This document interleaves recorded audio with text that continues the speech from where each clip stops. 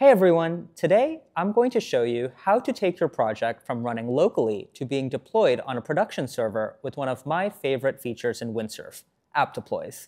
App Deploys allows you to quickly stand up your application and make it available for the world to use. So here I am in Windsurf working on a basic game. Maybe you are working on a landing page or a front-end prototype. Whatever it is, I want to get it live. To deploy, I can either open Cascade and type deploy this project to Netlify. Or I can just click the rocket icon, deploy, in the Cascade side panel. Windsurf will automatically analyze the project and detect the framework, whether it's React, Vue, Astro, you name it, and prepare it for deployment. Now watch this. It packages the build, connects to Netlify, and boom, we've got a live site. I get a public URL I can click to preview, and yep, there's our site, live and accessible from anywhere. Want to take things further? Just type claim my project and it'll transfer the deployment into your own Netlify account.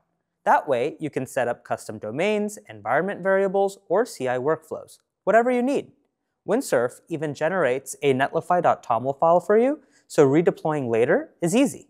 App Deploys is currently available to all users, and we're adding support for even more frameworks and advanced build options soon.